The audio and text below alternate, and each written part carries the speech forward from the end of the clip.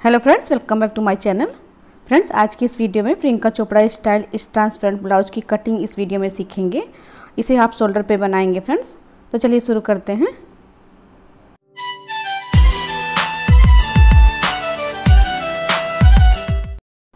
देखिए, यहाँ पे हमने डेढ़ मीटर की ये नेट ली है और ये हमारी 80 सेंटीमीटर की लाइनिंग है फ्रेंड्स तो हम लोग सबसे पहले अपने पार्ट की कटिंग पेपर पे करेंगे। इससे हमारे कपड़े की बचत हो जाती है, हमारा कपड़ा वेस्ट नहीं जाता है। देखिए फ्रेंड, हमने चार्ट पेपर ले लिया। वहाँ पे हमने अपनी लंबाई तेरह इंच रखनी है। एक इंच माइनस प्लस करके हमने चौदह इंच पे लंबाई को मार्क कर लिया है।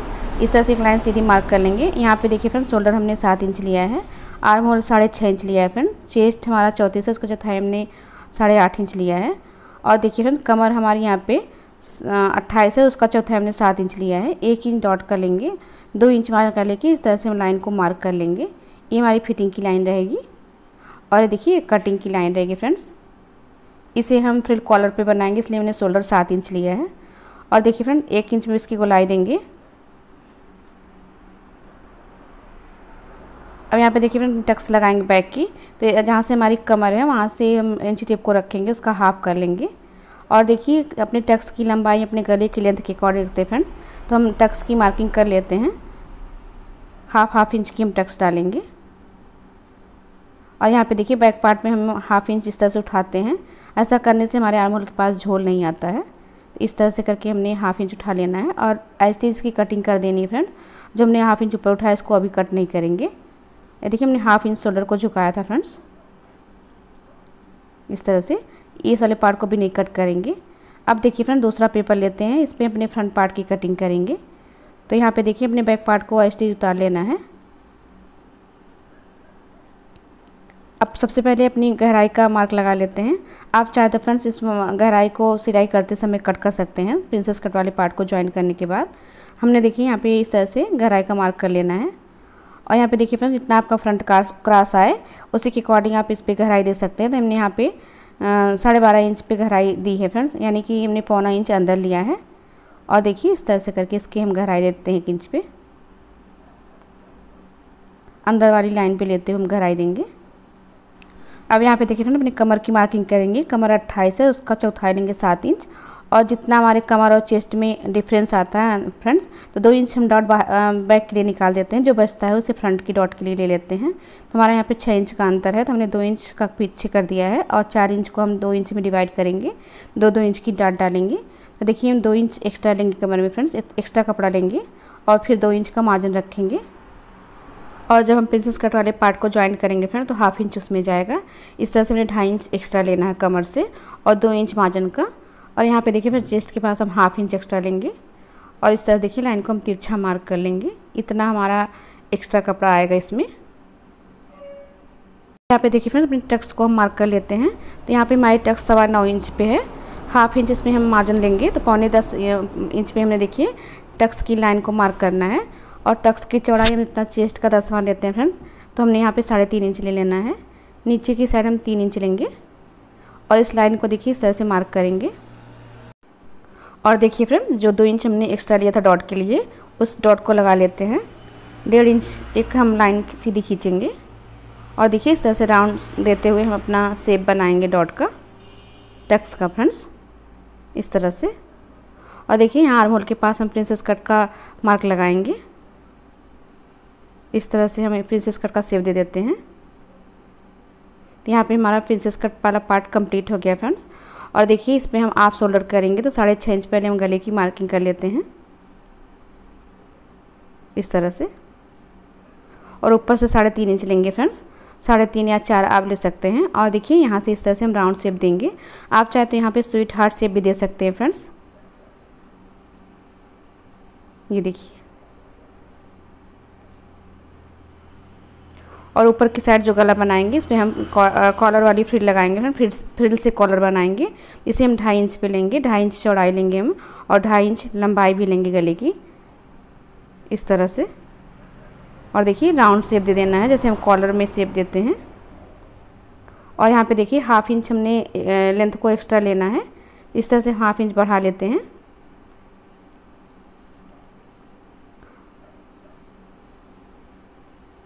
अब देखिए फिर अपना बैक पार्ट लेंगे। बैक पार्ट में मैंने तिरछी मार्किंग की थी, उसको कट कर लेंगे। और यहाँ पे देखिए इस तरह से बैक पार्ट को रखेंगे। अपने बैक पार्ट के मार्किंग के अकॉर्डिंग ही अपने फ्रंट पार्ट की मार्किंग कर लेंगे, ताकि हमारा दोनों पार्ट इक्वल हो जाए। देखिए इस तरह से। और देखिए आगे की साइड हमारा थोड़ा सा कपड़ा ज़्यादा था, सिर्फ़ हमको आधा इंच ही एक्स्ट्रा लेना है। अब देखिए इसकी कटिंग कर लेते हैं मार्किंग के अकॉर्डिंग ये देखिए फ्रेंड्स अब टक्स को अलग कर लेते हैं।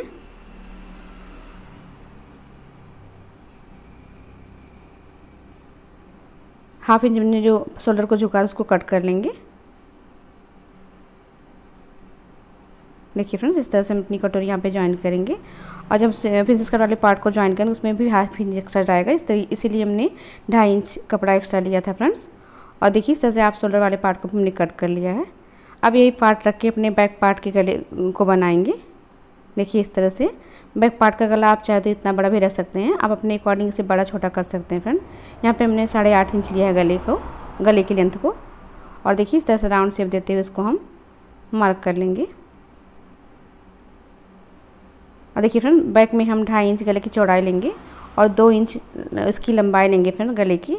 आप चाहे तो दो या तीन इंच अपने अकॉर्डिंग रख सकते हैं। इस तरह से। इसे हम बैक ओपन पे बनाएँगे फ्रेंड्स। तो देखिए इस तरह से करके हमने फ्रंट और बैक की कटिंग कर ली है। और जो हमने गले का शेप दिया इसको कट कर लेते हैं और मार्क कर लेंगे फ्रेंड्स। ये हमारा फ्रंट का पार्ट आएगा और ये बैक का। इस तरह से हमने पेपर पे कटिंग कर ली है। अब ये जो हमारा पार्ट गले का निकला है फ्रेंड्स, इसे हम अलग पेपर पे कट करेंगे और एक्स्ट्रा पेपर लेते हुए मार्किंग कर लेंगे। तो देखिए पहले हमने स्टिच मार्किंग के अकॉर्डिंग सेप बना लेना है। सेप के अकॉर्डिंग मार्किंग कर लेनी है फ्रेंड्स अब देखिए हम सवा इंच एक्स्ट्रा कपड़ा लेंगे। सवा इंच या एक इंच आप अपने अकॉर्डिंग इसको मार्जिन में रख सकते हैं। तो ये देखिए फ्रेंड्स अब हमें इसी मार्किंग को दूसरी साइड भी उतार लेंगे। इससे हमको फ्रिल लगाने में आसानी रहेगी। इस पर हम फ्रिल बना के लगाएँगे नेट की। तो हमको इस तरह से मार्किंग कर लेनी है फ्रेंड्स इसी तरह से हम अपने बैक पार्ट की भी मार्किंग कर लेंगे गले की।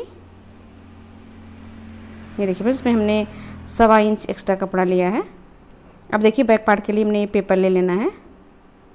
अपना बैक वाला पार्ट रखना है फ्रेंड्स जैसे हमने फ्रंट पार्ट की मार्किंग की सेम इस तरह से हम अपने बैक पार्ट की भी मार्किंग कर लेंगे। और देखिए सवा सवा इंच पे इस तरह से मार्किंग करके एक्स्ट्रा कपड़ा लेंगे एक्स्ट्रा पेपर लेंगे फ्रेंड्स इसी पेपर पर रख के हमको नेट की सिलाई करनी होगी, जो फ्रिल बनाएँगे। तो इस तरह से हमने देखिए फ्रंट और बैक के लिए पेपर कट कर लिया है एक्स्ट्रा मार्जिन लेते हुए। देखिए दूसरी साइड भी इस तरह से मार्क को उतार लेते हैं जो हमने एक्स्ट्रा लिया है। इस तरह से। अब देखिए फ्रेंड्स सेंटर से इसको हम अलग करेंगे क्योंकि ये हमारा बैक ओपन रहेगा। इस तरह से इसको हम अलग कर लेंगे। तो देखिए फ्रेंड्स हमने यहाँ पे फ्रंट और बैक दोनों की गले की मार्किंग एक्स्ट्रा बढ़ाते हुए ले ली है। अब हमें इसकी ज़रूरत नहीं है।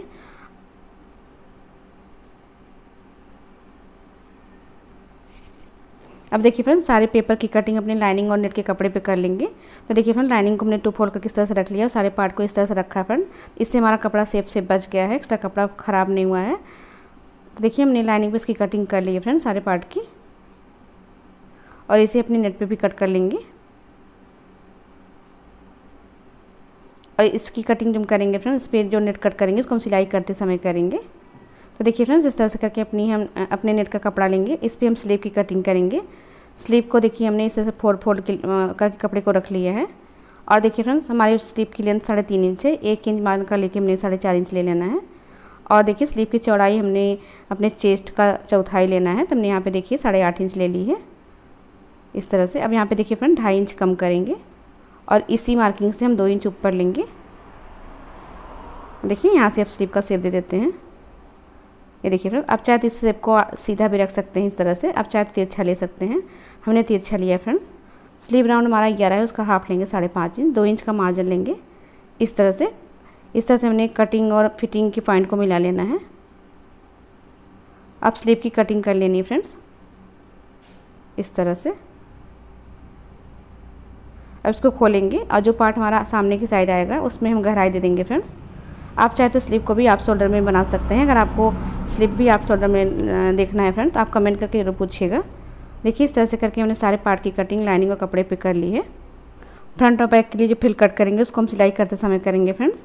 तो फ्रेंड्स, आपको वीडियो कैसा लगा कमेंट करके ज़रूर बताइएगा। वीडियो को लाइक और शेयर भी कर लीजिएगा। चैनल को सब्सक्राइब कर लीजिएगा फ्रेंड। बेल आइकन को प्रेस कर दीजिएगा। Thank you.